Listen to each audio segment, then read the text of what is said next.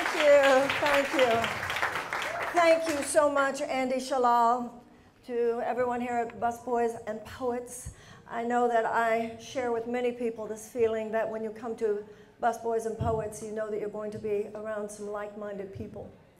And uh, the idea that like-minded people, particularly with some of the ideas that we're talking about here tonight, could actually turn that like-mindedness into political force at a time such as this could not be a more critical topic.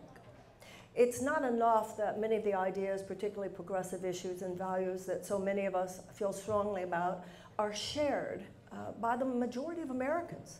I mean, you could look at poll after poll. The majority of Americans want universal health care. The majority of Americans want free college. The majority of Americans want uh, a, a lower military budget. The majority of Americans want greater action on climate change. The problem is not that people don't want that. The problem is the institutional resistance to the will of the people actually being served in the United States.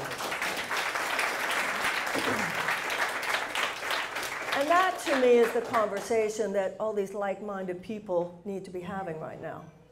Who is it that we need to be, and what is it that we need to do to break through that wall of resistance? Uh, I want to begin by uh, talking about some experiences that I had this week, like telling you about my summer vacation, but it was actually telling you about my week, and particularly two things that happened to me this week. One is that on Tuesday, I spent the day in East Palestine, Ohio. And I had read, I understood the statistics, I understood the basic outline of what occurred there. I knew what Norfolk Southern had done and not done. I knew about their antiquated braking system. I knew about the chemicals that were in those trains. I knew about the burn that they did. I knew that the EPA had said you can burn one and then they burned five. I knew that those chemicals shouldn't even be there. I knew that that is a sacrifice zone. I knew that this is not an uncommon occurrence, treating neighborhoods and areas like this in such an irresponsible way.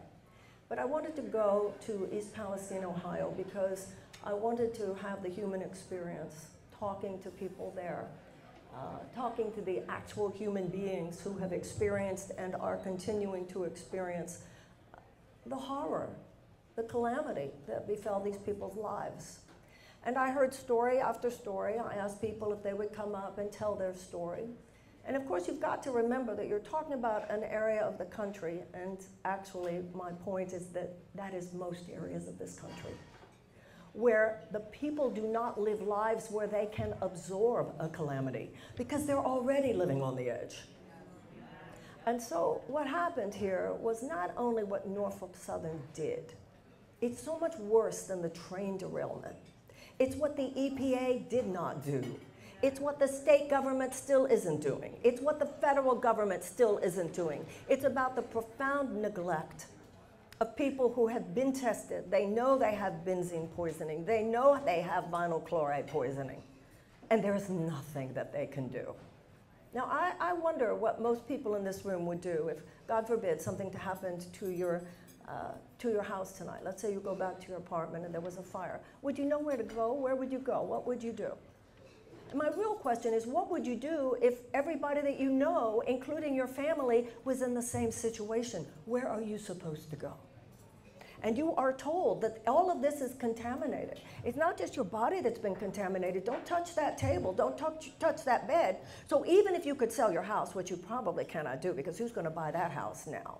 Don't take those furniture, those pieces of furniture with you because they are all contaminated. And what about the kids who go to school? The situation is so much worse just hearing human beings talk about it than anything you can even imagine. And there's basically no hope because they write to the EPA or they write to Sherrod Brown or they write to J.D. Vance or they write to Governor DeWine or they write to uh, Joe Biden, who, what geniuses in this town told him he shouldn't even bother to go there? Trump went there, showed up with uncontaminated water. I wonder how much money that operative, that genius was paid to say you don't have to go to Ohio.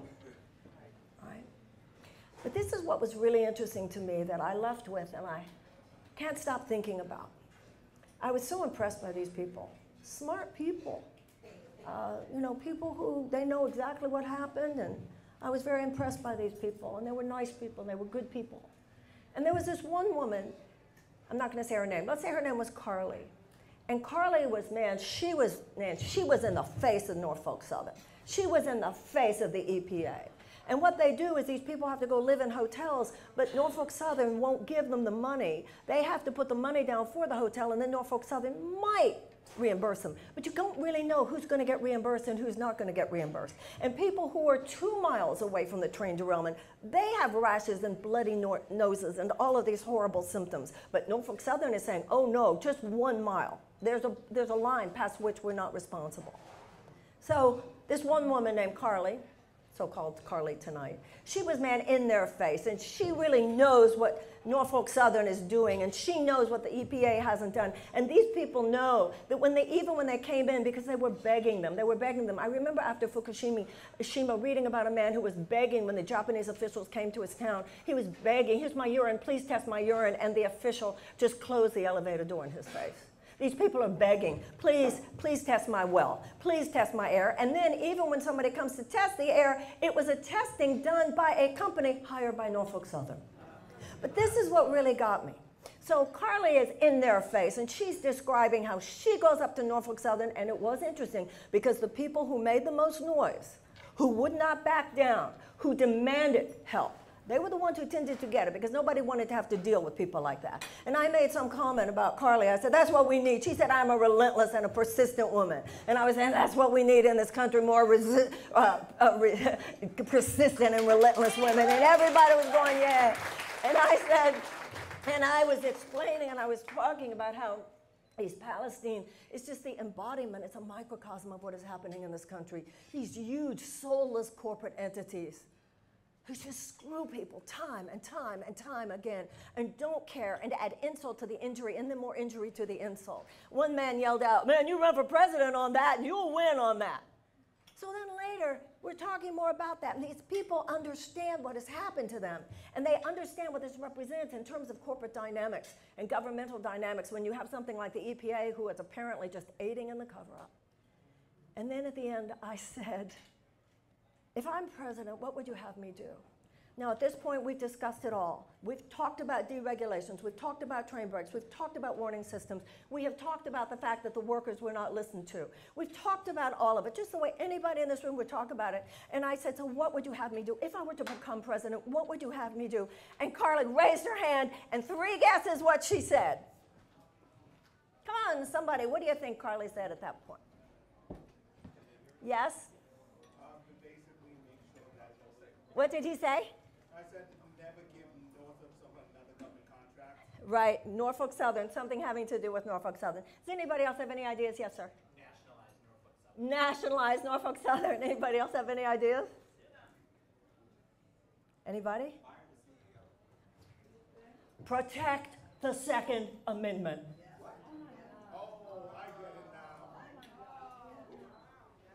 now. Fascinating, huh? Now, something else happened to me, and that was the day before I went to North, uh, went to East Palestine, and that was a podcast I was on with a man whose name I'm not going to mention. He's a nice guy. He's always been nice to me. He's uh, I can probably count on one hand the pundits in that particular area who've been fair and kind to me, and he has been. But I was on his podcast, and he was asking me the kinds of questions that many of those people ask me. He said, Why are you doing this? Why are you doing this? Joe Biden's done pretty good. He said, Joe Biden's done, he said, Joe Biden, you know, the economy is, is good by all indicators. I said, Oh, it is? Who's it good for? I talked to him about the fact that 20% of Americans are living on an economic island of economic well-being, but that that island is surrounded by 80% of Americans who are living in a sea of economic despair. And I started talking to him about the fact that one in four Americans live with medical debt, that 18 million Americans cannot afford to fill the prescriptions that their doctors give to them, that people are rationing their insulin in this country, the fact that 85 million people are uninsured or underinsured, to which he responded, Well, we have universal health care in this country, don't we? And I realized in that moment, and I realized after I went to East Palestine, the divide in this country is dramatic. But the divide in this country is not between left and right. The divide in this country is between those who chronically suffer and those who don't have a clue.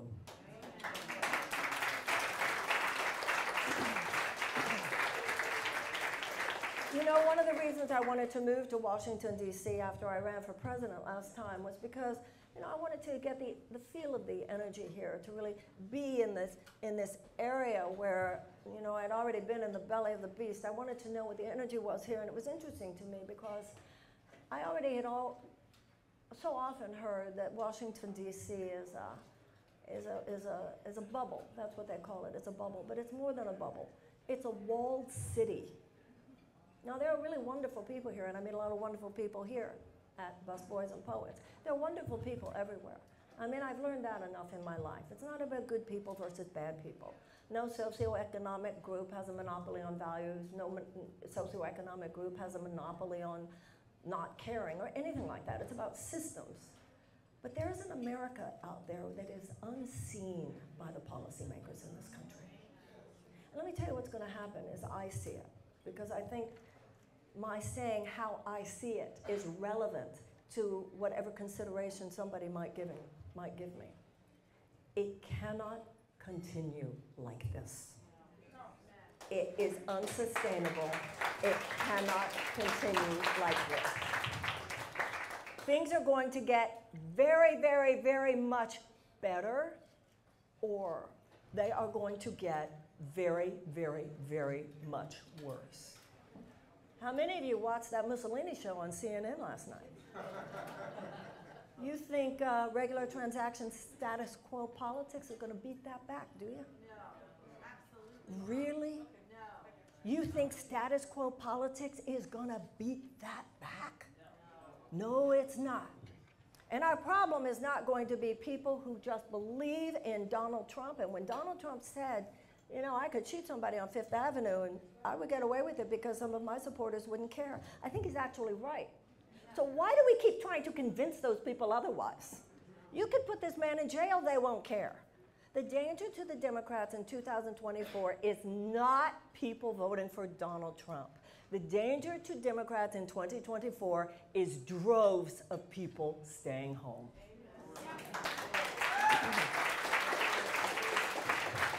And many of those people, many of those people who will stay home, in my experience and from what I hear and what I'm told by them, are young people who, in their experience, haven't actually seen that much difference between the parties. There hasn't been that much visceral difference when it comes to their health care. There hasn't been any visceral difference when it comes to their ability to get educated. There hasn't been any visceral difference when it comes to their getting out of the shackles, these invisible chains of these college loan debts.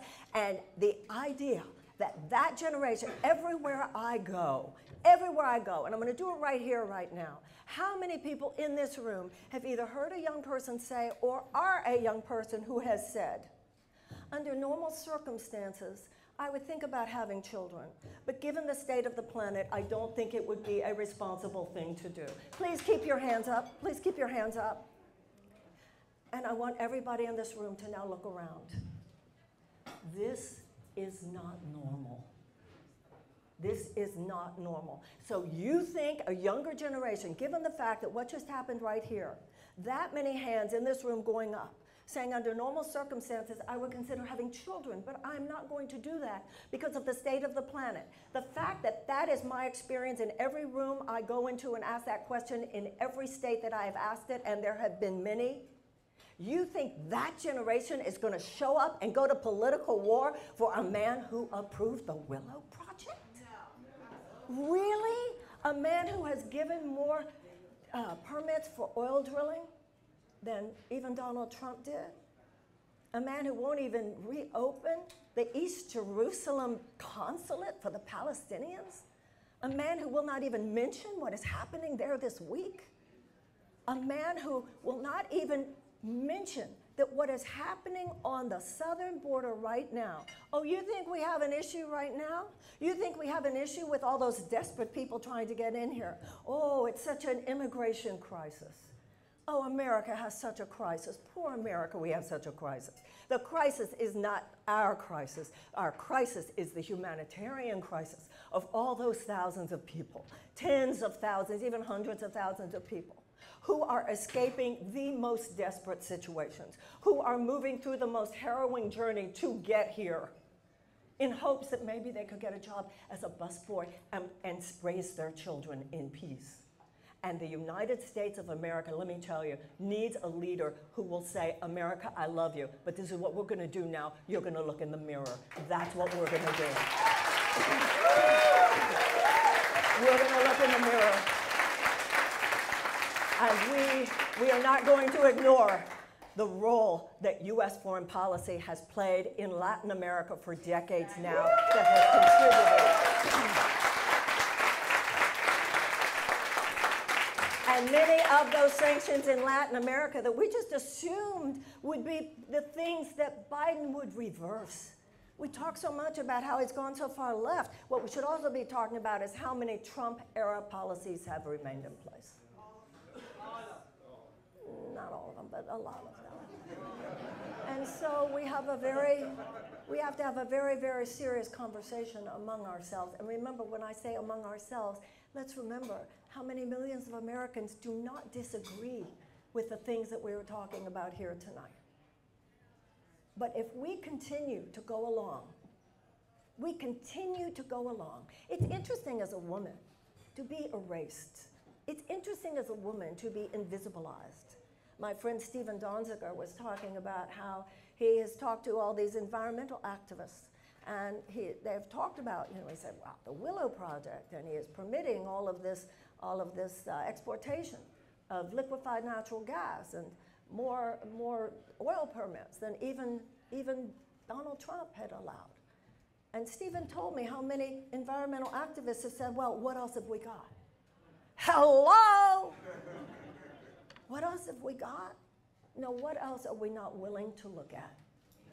You know, I remember during the 1990s when Barbara Ehrenreich wrote an article that was in the New York Times, and it was something that hit me like a brick to the forehead. She said, What has happened to the left in this country? She said, I'll tell you what happened to the left in this country that has been so devastating to the left in this country. And then she said it, and it blew my mind and struck me, and it has just stayed within me. She said, What devastated the left in this country is we were all invited to the White House once. what whores we have become. Ooh, I got a White House Christmas card. I remember somebody telling me when Obama became president, a man I know who runs a huge poverty organization. I said, What's the difference between the Obama presidency, the Obama administration, and the Bush administration? You know what his answer was? The Obama administration returns our calls. Boy, have we been played. Boy, have we been played. Well, they'll still take my call. They'll schmooze me. They'll tell me they really care. A man who was in East Palestine, who was one of the activists there this week, told me that he had attended a meeting in the White House and had been told by a Biden official, well, we didn't know people are actually sick. We didn't know people are actually sick. So I believe that we need to make a complete U-turn in this country. And I appreciate the incremental changes that this president has done that in some ways have been, have been positive. But we are a big ship and we are headed for the iceberg. And status quo incremental politics just means we will hit the iceberg at a different angle. We need to do more than hit the iceberg at a different angle. We need to turn this ship around. We need to turn the ship around. We need an economic U-turn in this country. And the economic U-turn that we need in this country means issues and policies that are considered moderate positions in every other advanced democracy. Every other advanced democracy plus other advanced countries have universal health care. Every other advanced democracy has free college tuition and tech school. Every other advanced democracy has free child care. Every other advanced democracy has paid maternity and paternity leave. Every other advanced democracy has guaranteed sick pay. Every other advanced democracy has guaranteed livable wage. And we sit there while these people say to us, well, well, you know, it's complicated. How long before we just yell from the bottom of our guts? It's not complicated, it is just so corrupt.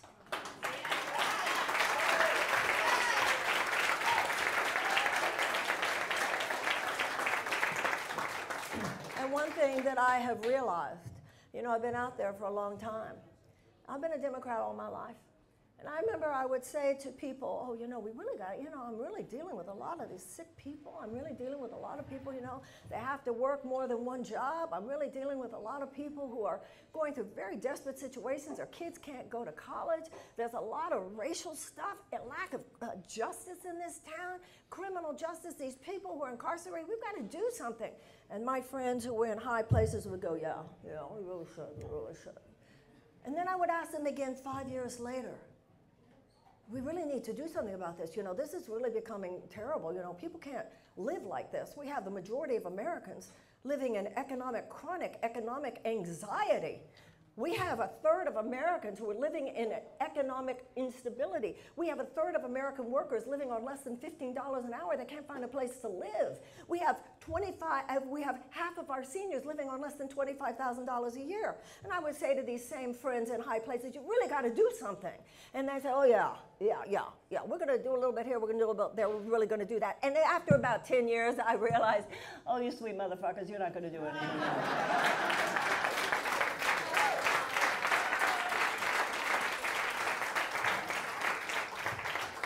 The status quo will not disrupt itself. That is what we have to realize now. The status quo will not disrupt itself. If the status quo is going to be disrupted, it's going to be because we, the people, disrupt it. And that's, that's simply the truth. And that has always been thus. You know, abolition didn't emerge from a political party, abolition emerged from the people. And the political party found out they had to go along. And women's suffrage didn't emerge from a political party, it emerged from the Women's Party, and political parties realized they're going to have to go along. And the labor movement didn't, didn't, the response to the Gilded Age at that time didn't emerge from the political parties, it emerged from the labor movement, and the political parties realized they were going to have to go along. And the civil rights movement, desegregation of the American South, didn't come from the political parties. It emerged from the people, the Southern Christian Leadership Conference, and people realized they were going to have to go along. Today, it is not a particular circumstance. You know, that's the thing. It's not a specific tumor, and if you only get rid of the tumor, then the problem is over with. That's what we had hoped, of course, with beating uh, Donald Trump in 2020 was the hope that the problem was over. No, the problem was not over. The cancer of hate had already metastasized. And so now we have an even bigger problem. But it's not one, one tumor that invasive measures can get rid of. It's lack of health care over here, it's chronic economic anxiety over there, it's the mental health crisis over here. But darn, can we talk about the source of that mental health crisis and how much of it has to do with poverty and the economic chronic anxiety that people are living within? No, no, no, no, no. Let's make it about something else so that another pharmaceutical option can make another multi-billion dollar fortune profit center off that area of human suffering. And so what's happening now, it is more like an atomizer spray of injustice. And in order to deal with this, it's going to have to be more than a political revolution. It's going to have to be a revolution of consciousness. It's going to have to be people standing up and saying, this cannot continue on our watch. And no, we cannot wait until 2028. We cannot wait until 2028. Now, I don't have any kind of Donald Trump, oh, I'm the only one who can fix it. I don't believe that at all. But I do notice when it comes to these things, I'm kind of the only one who's here.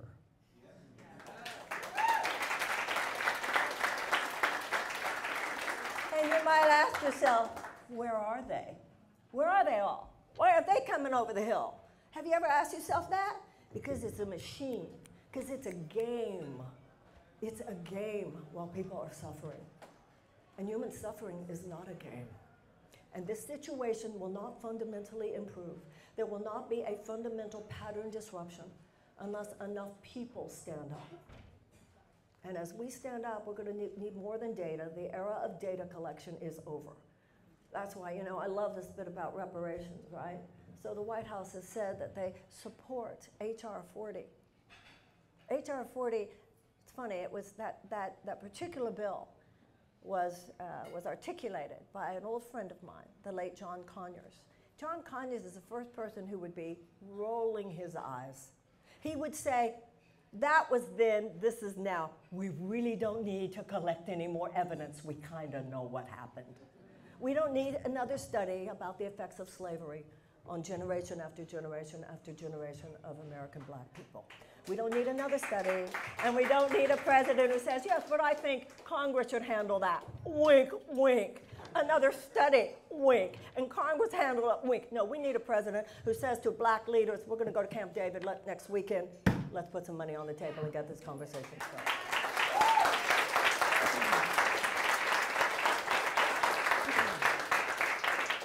I wonder if Franklin Roosevelt would be allowed into the Democratic Party today, or if he would be considered too left wing.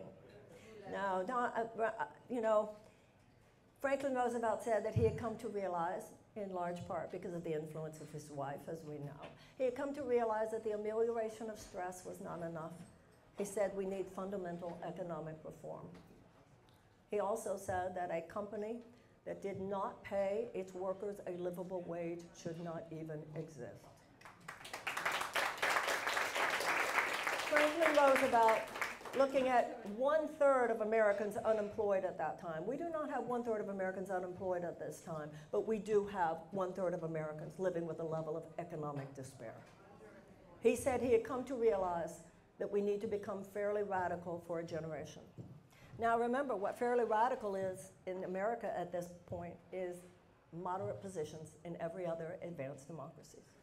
I'm reminded of Winston Churchill saying that you can always count on Americans to do the right thing uh, as long after we have exhausted every other option. And that's pretty much history. You can count on Americans to do the right thing after we have exhausted every other option. And what I would say to you is I think we've exhausted every other option. We are now faced with a challenge. You know, some people say, Marianne, how could you be running? Don't you understand the fascists are at the door? Ladies and gentlemen, and everyone else, I'm running because I understand that the fascists are at the door. And I understand the story of David and Goliath, and I'll leave you with this. The story of David and Goliath is not just a story about small versus big. That's not, that's just the least of it. The story is about the fact that with all the warriors of Israel who knew, the, war, the Israelites knew that this, this, this Goliath was so big and the giants were laughing at all those great warriors. And David wasn't even a warrior, he wasn't even one of them. You know, he was a fringe, not serious kind of guy. And he goes in there and he says, I'll do it. They said, You'll do it? He says, Yes, I'll do it. And Saul, King Saul, said to David, The least I can do, given that you're doing this for us, I will give you my coat of armor. And David put it on and he said, No, I got to take this off. If I'm going to do it, I have to do it my way. And the way David did it was that David took his slingshot and he hit the giant in the one place where the giant is vulnerable between his eyes. The giant had no soul. He hit him in that proverbial third eye, which is on the dollar bill, the great seal of the United States. That's how he defeated the giant. Not that he was big, not that he had the technological power, not that he had the financial power, not that he had the warrior power, but what he had was soulfulness. And that giant has no soulfulness. Whether it is the ideological threat of fascism, which is attacking us from the outside and attacking our democracy, or neoliberalism itself, which is eroding our democracy from the inside. Neither one of them. They have no soul. They have no soul. They have no ethics. They have no concern. They have no compassion. It's a machine. It's not that the individuals don't. This is not about not nice people. This is about the way our country operates right now. It's about a soulless economic system which has our government in its grip. It's about a government that at this point does more than not simply chops wood and carries water for this huge corporate aristocracy, whether it's insurance companies or pharmaceutical companies or big agricultural companies big food companies, big chemical companies, big uh, gun manufacturers, oil companies. And let me tell you something more about oil companies. Oh, you think we have a problem at the border now, do you? Just wait till we have 100 or 200 million climate refugees with nowhere else to go because we did not stop fossil fuel extraction and entire swaths of continents are unlivable. And you add all of those corporate entities that I just mentioned, you add to that the military industrial complex, our defense contractors. And we have a corporate aristocracy which is no different than the aristocracy that we repudiated in 1776. Well, our ancestors repudiated in 1776, and it's our turn to repudiate them again. And it, Churchill might be right. We got there late, but we got there. We have ancestors who responded to slavery with abolition. We have ancestors who responded to the institutionalized suppression of women with the women's suffrage movement. We have ancestors who responded to the first Gilded Age with the labor movement. We have ancestors who responded to segregation with the civil rights movement. My message to you why I'm running for president and why I hope that you will consider helping me is that I believe with all my heart it's our turn now and we can do this. Thank you. Thank you. Thank you. Thank you so much. Thank you. Thank you. Thank you. Whatever you think. No, I don't Thank you. Thank you so much. Thank you. Very sweet of you. Thank you. Marianne, love your message, love everything about you. Um, I know your dad was an immigration lawyer, and your story about Cheryl, the woman in East Palestine, Cheryl was her pseudonym? Yeah, I said her name was Carly. Her name was oh, Carly, Nira. sorry, Carly. There was a Y in there. Um, uh, Carly, I think her response to you about their, they don't have money, they're getting poisoned, their faces are red, is Second Amendment, uh, is indicative of how successful the Republicans are in messaging. And one of the things they've been very uh, successful with is the vilification of immigrants. And Andy himself, owner of Busboys, Busboys wouldn't exist without a new American. Um, and I believe fifty percent, five zero percent of the Fortune five hundred companies were started up by new Americans. And if you take the new Americans out of Google, Facebook, eBay, there won't be much left, much of that high-tech industry left. So my dream is that United States has a Department of Immigration, not a, not an office, not a, s- not an INS, not the DHS, a department where people just stand up and say, this is what the immigrants are doing and how they're contributing to the innovation, the creativity of this community, of our country, and we win the narrative game war because the reason they want that Second Amendment, they want their guns, is because they're seeing a stream of brown people every day on TV, on Fox News, every day. I, I watch it. And so, anyway, I hope, I hope we can get there, the Department of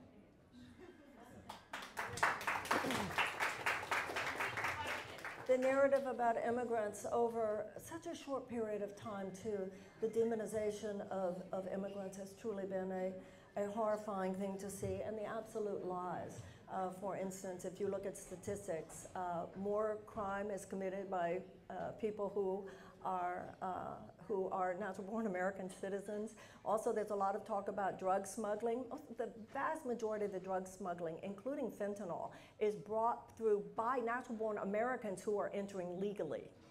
So there's just lie after lie after lie. And uh, once again, as you said, and I hope that I, I did my best to try to help correct that tonight, Americans not realizing the level of violence, the level of despair and horror that so many of these people are trying to escape, uh, people not uh, taking the time perhaps to really think about what, how horrible your life has to be where you are, uh, to be willing to trek through uh, those terrible, terrible conditions in those deserts and so forth, the way they are, in the hopes of having a life here that is simply survivable. Um, and also, as I mentioned, how much U.S. foreign policy, particularly sanctions and other destabilizing factors, have contributed uh, to the dire poverty that so many people are now trying to escape. And we, each in our own way, can do what we can to change that narrative. Yes, sir.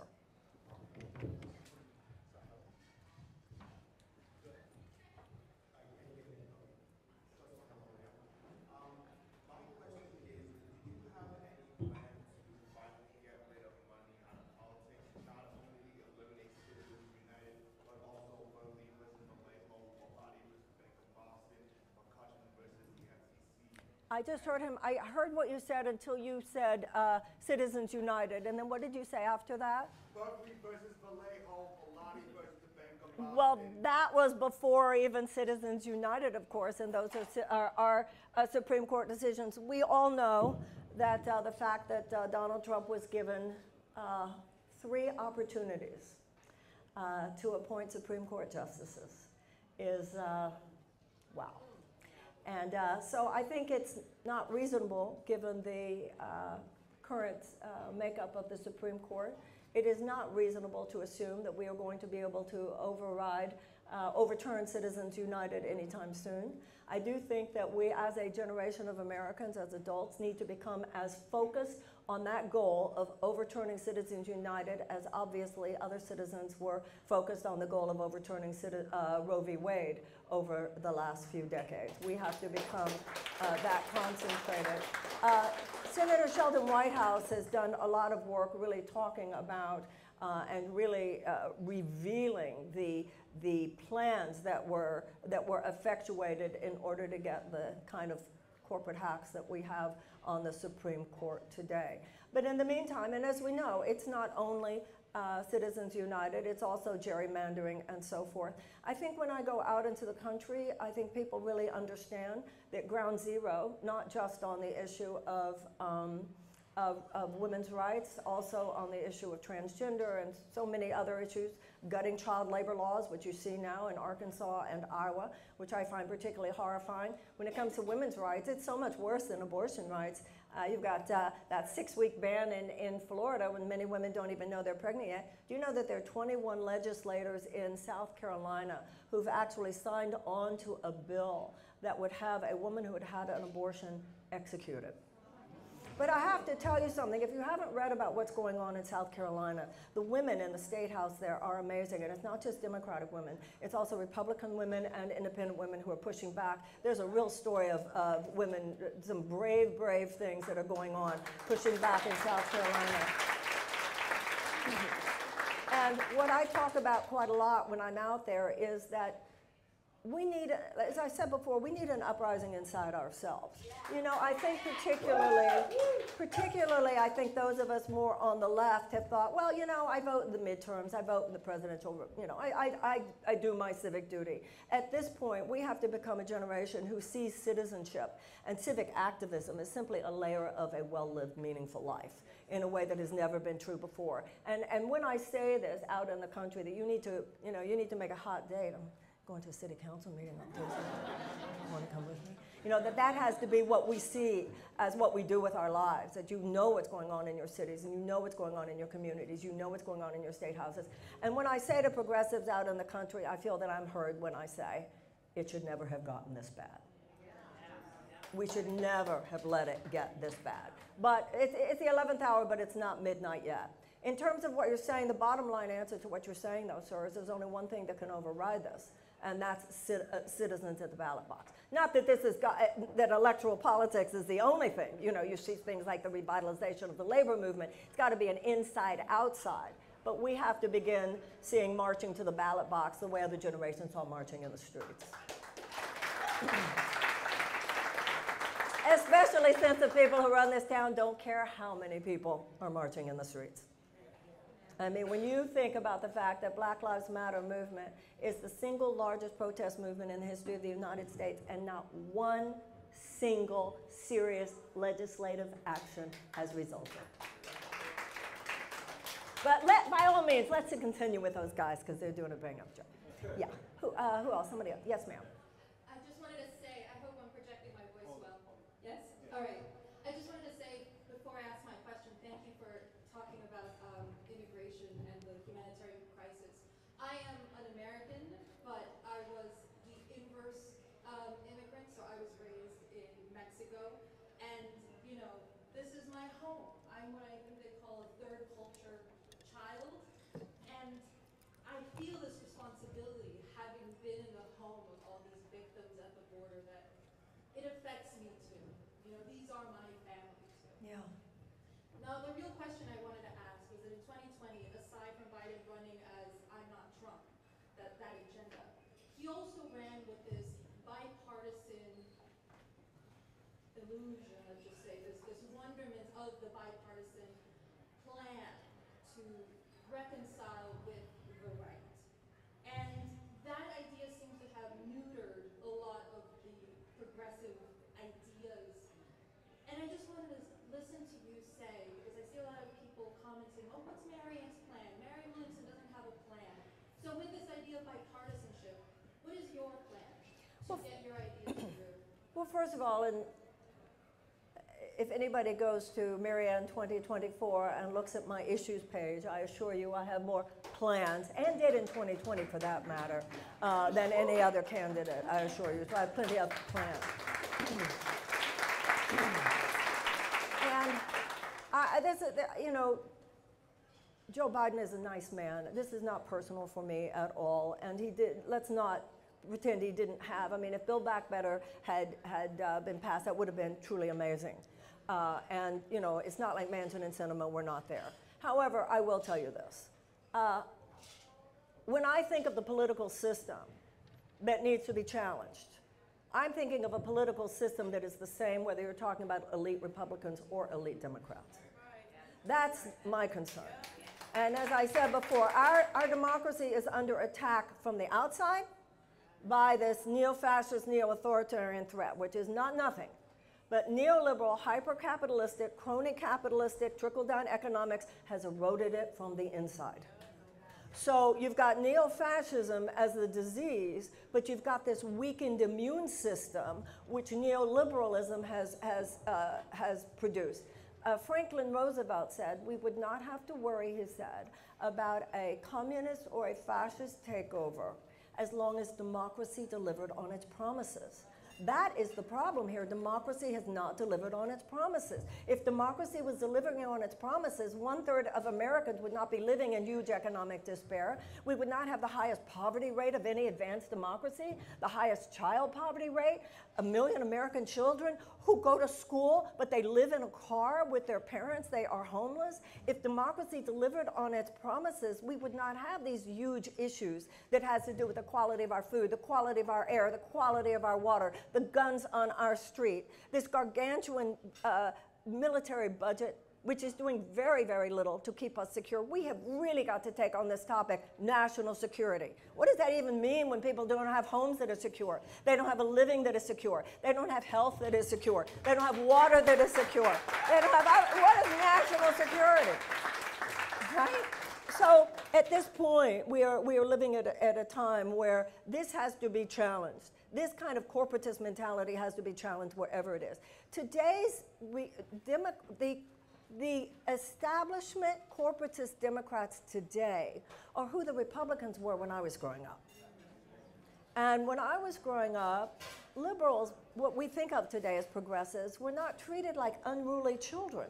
We're treated like unruly children by those who would say that we're trying to hijack the Democratic Party. Well, I'm sorry, I've read American history. They hijacked the Democratic Party. We didn't want it back. We're Eleanor and Roosevelt, they're the DuPonts and the Morgans. Once again, nice people. Not about not nice people. And that's really important. Not every rich person is a greedy bastard. Not every person in power is completely emotionally distant from the ravages of human suffering, although enough of them are that it's a serious problem. And at this point, this should not be enabled anymore. This should not be coddled anymore. At a certain point, who among us hasn't had a lover who comes back every single time? And they come back. It's like a lover who comes back every two years, or every four years. Come on, baby, give me another chance. No!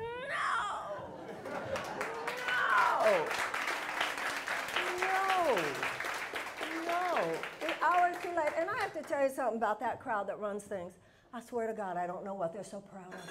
They're so self congratulatory. They have dinners to congratulate themselves. They're so, what are they so proud of? They, we are six inches from the cliff. We are six inches from the cliff in terms of the state of our democracy. We are six inches from the cliff in terms of the state of our economy. We are six inches from the cliff in terms of the state of everything that is most precious to us. Now, they would argue, and I'm going to bring in myself a little bit on this because I am running. These people would argue that only someone who has had a career for decades entrenched in the car that drove us into this ditch should possibly be considered qualified to lead us out of this ditch. I, I, I disagree with that entirely.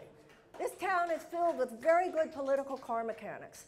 The problem is not that we don't have good political car mechanics in Washington. The problem is that we are on the wrong road.